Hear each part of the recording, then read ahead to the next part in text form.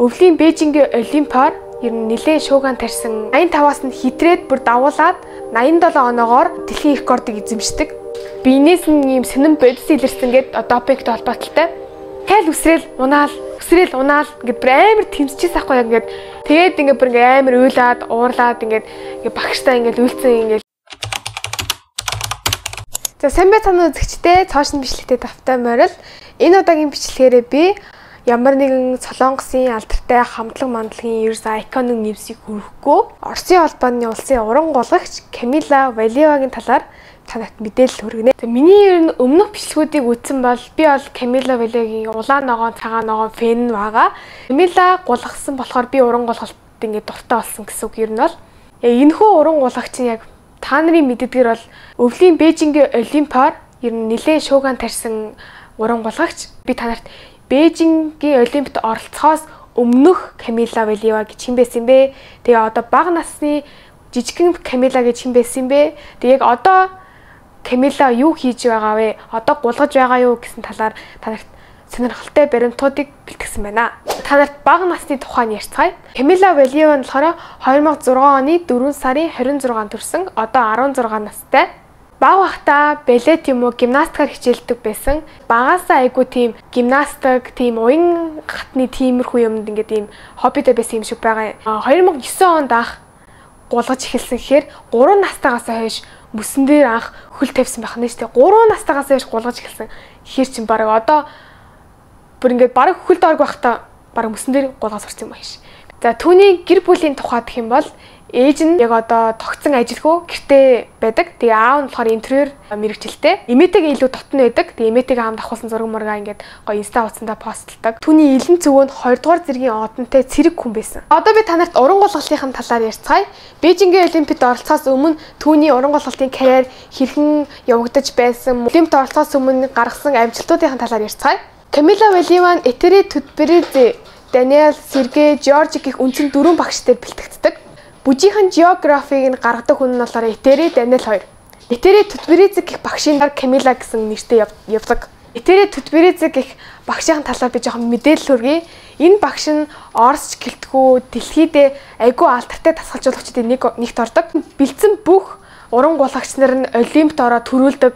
Бүх уран гулагтаа хичээлдэг хүүхдүүд бүгдээрээ тэр багшийн доор хичээллэхийг айгүй хүсдэг. Үүний чадварын хувьд нилээдгүй ингээд цуурай тарж яхад айгуу чанга хатуу гэж ирсэн. Би бол ер нь царинаас нь хараад ер нь бол яг тиймэрхүү гэж бас би бас дүгсэн заяа. Багш нь 3 олимпийн аваргыг төрүүлсэн. Тэр нь болохоор Евгений Меделайн, Алина Закитова, Анна Шепанкова гэх 3 олимпийн аваргыг төрүүлсгээс гадна маш олон амжилттай яваа уран гулгчдыг бас бэлтгэсэн.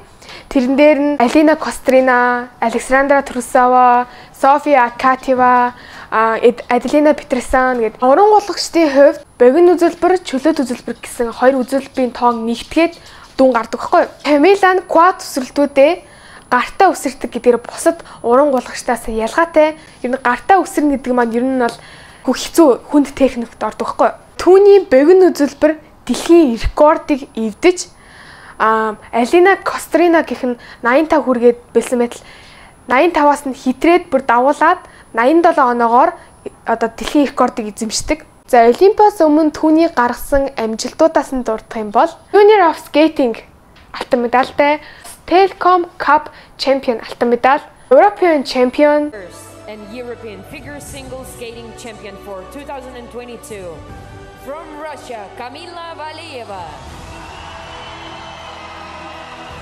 She may Skate Canada International Champion. Who can possibly beat her in this, the Olympic year? Kamila Valieva.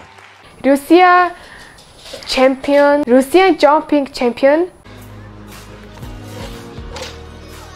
Блестяще. Сумасшествие какое-то творится. фигурного катания в прыжках. Это Камила Валиева! Grand Prix-ийн хоёр алттай. Гэт угаасаа Олимпиад оролцохоогүй байсан ч угаасаа амар чадварлаг уран гулагч байгаа. Бээжингийн Олимпиад 15 наснаас дээш оролцож болно гэд тэг Камила нэг 15 настай ээж тараад тэгээд бүх дүүцүүлсэн оноонуудаа нэгтгээд олимпикийг авч исэн. Тэгээ түүнтэй хамт Анна Шебанкова болон Александра Турсанова нар хамт олимп руу явсан. Тэгээд хин тухтай нь бол олимпиад орохгүй шүү дээ. Олимпиад чинь ингээ бүх одоо уран голголт чинь одоо ингээд орсон бүх тэмцээнүүдийнхаа оноо гэдэг дүүцлээ тэднээс дээш оноотой байж орно гэд. Тэг ер нь бол хамгийн шилдэгүүд уус алганы хамгийн шилдэгүүд нь явж байгаа шүү дээ. Тэгэхээр өөрөө олимпиад оролцож байна гэдэг чинь өөрөө бас амжилттай. Орсын албаны улс нь эмэгтэй төрөлд 3-ыг, эрэгтэй төрөлд 3-ыг, хосын төрөлд 3-ыг мөн бүжийн төрөлд бас 3-ыг авчихсан. Нийтдээ ингээ 12 тамирчин Бээжин рүү явсан байж таараа.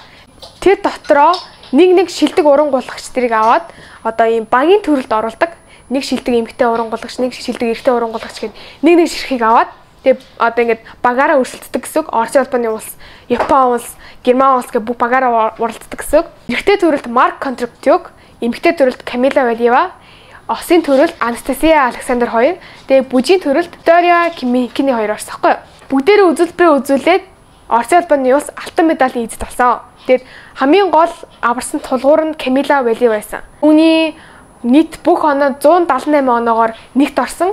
Хоёрдугаар байранд орсон уран гулагч нь болохоор Япон улсын уран гулагч 148 оноотой байсан. Тэгэхээр ер нь илт давуу Камила ялсан байгаа байхгүй. Тэгээд шууд Орос улбаны улс нэгдүгээр байранд чигсэж байгаа. А яг ингээд тим ивент боллоо. Багийн төрөлд ингээ алтан медаль авчлаа.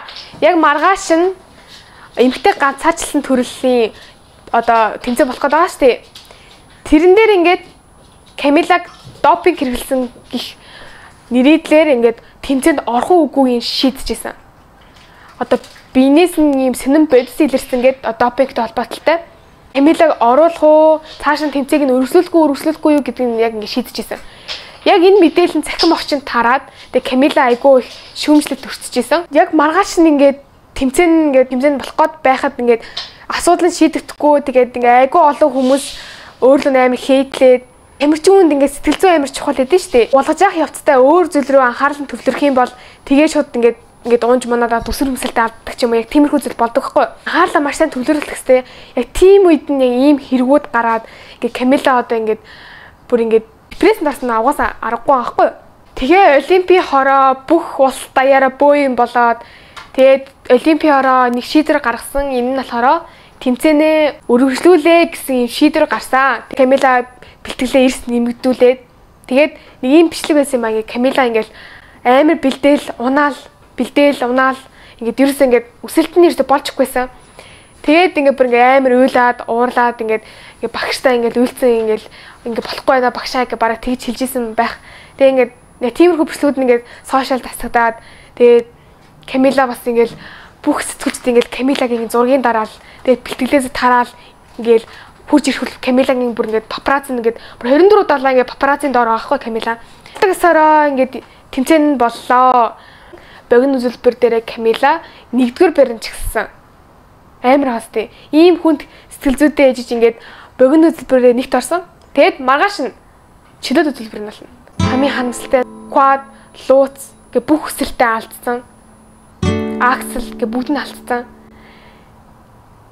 Би яг энэ яг энэ хэсэг ингээд яг лайваар үзчихсэн ахгүй тэгээ ингээ би бүр ингээ амар чин сэтгэлээсээ дэмжижсэн. Ингээл үсрээл ингээл унаал тэг би бүр ингээл өөгүй гэл бүр ингээ уйлах гад тэг ингээл дахиад үсрээл унаал үсрээл унаал ингээ бүр амар тэмцчихсэн ахгүй яг ингээ бүтэн тэр ингээ чөлөөд үзүүлбэрийн туршид өснөөсөө ингээ бууж явах явцад нь ингээл ингээ этэрийн нүүн багш нь ингээл чи яагаас бэ? Чи яага бууж өг? Аа гэд нэг тийм ширүү хандсан. Тэрний яг ингээд камерын дуран төрцсөн Камилагийн багш нь ямар хатуу юм бэ? 15 настай охинд ингэж хандах яад юм бэ? Тайвшруулах хэрэгтэй өөдөөс нь ийм үг хэлээд ингээд ер нь багш багшнаас жоохон хийтлүүлсэн. Оноогоо сонсвоо. Камила дөрөвдүгээр байранд орсон байна. Тэ Камила ингээд оноогоо сонсоод угаасаа бүх юм алдсан ингээл унж мунаал хас хоёроо наавал тэгсэн мөртлөө ингээд дөрөвт орсон байгаа байхгүй амар мундаг. Ингээд баах юм болоод 15 настай хүүхэд дахиж олимпиад олцлохгүй болоод шийдсэн нөгөө яг коронагийн үед болохоор бүх тамирчид маска 24 долоо зүүх ёстой. Бэлтгэлээ хийчээд маска зүүх ёстой. Бараг хоолоо идэхдээ ингээл бараг маска ингэж л идэх ёстой юм шиг байгаа. Ингээд маска авах юм бол корона тусчих юм бол тэмцээнд оролцож байхдаа дундаас нь гарна гэсэн үг. Олимпич ингээд 4 жилд нэг удаа болд юм чинь тамирчдын хувьд бол ингээд хүсэн хүлээсэн тэмцээн байгаа шүү дээ. Тэгээ ингээд ганц корона тусах ганцхан ханиаднаас болоод ингээд бүтэн мөрөөдлөө хаяна гэдэг чинь бас муухай шүү дээ. Тийм учраас бүх тамирчид ингээ маска хоёр давхарлаад ингээ зарим нь ингээ гурван шиг ингээ маск зүсэг ингээ тийм хүмүүс ингээ зөндөө байсаахгүй ингээ бүгд маска амар сайн зүгээд ариун цэвэр амар сайн сахих хэвээр. Миний бодлоор ингээ Камилагийн усанд нь ингээд допингийн юм хийсэн юм шиг байна. Хоолнд нь хийсэн юм шиг байна гэх. Яг team event дээр Камила айгүй сайн байгаад ингээд бага нэг тавьчирсан болохоор өөр багийн уран гуйлагч нар ингээд хорлох гээд ингээд яасан юм аа мэдгүй би тэр тэр тэр явдлын талаар бол би нэг сайн баттай бол барин тахгүй яг ийм таамаглалууд байгаа. Камила хэсэгэн зур амарсан юм шиг байгаа. Ерөөсөө гулахгүй. Тэгээд сторинууд нь үзэхээр ингээд найзуудтайгаа хамт илүү цагийг өнгөрөөсөн байсан. 5 сарын дараа юу? Орсын албаны улс тэмцээн зохиогоод ингээд Орс ч угаас дундаа ингээд тэмцээн зохиод штэ. Тэрэн дээр ингээд Камила оролцохоор болсон.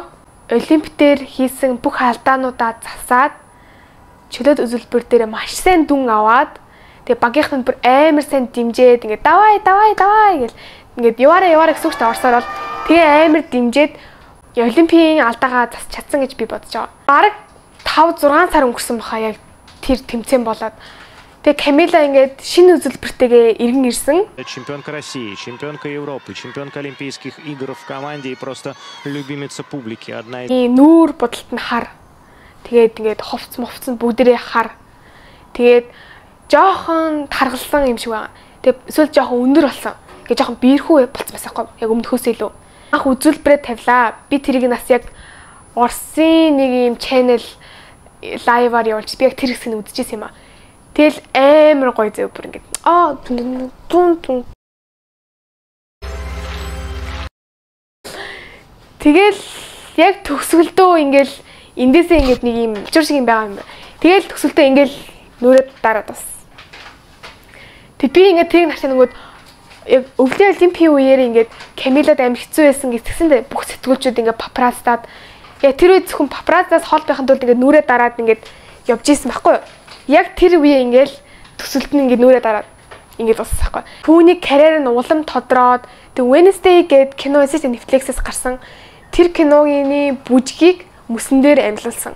Гэхдээ энэ юм бол айгүй YouTube дээр айгүй их үзэлт аваад ингээд хүмүүс бас айгүй их сайшаасан үзэлбэр шүү дээ. Камилагийн ер нь яг одоогийн байдлаар Камила амар амжилттай яваа. Маш олон тэмцээнүүд дээр оролцоод, маш олон үйл ажиллагаанд гулгаад явж байгаа Тэгээд энэ нөрөд бичлэгээ дуусъя. Тэгээ Камилагийн талаар та баггаан ч гэсэн Камилагийн талаар мэддэг болсонд та бүхэндээ маш би баяртай байна. Тэгээд дараагийн бичлэг уулзлаа түр баяртай найзуудаа. Баяртай, баяртай. Дараагийн бичлэгээр хэнийг илүү мэдмээрэн та нар ком хэсэгт бичээд өгөөрэй. Бас subscribe дарахаа бүх мартаарай.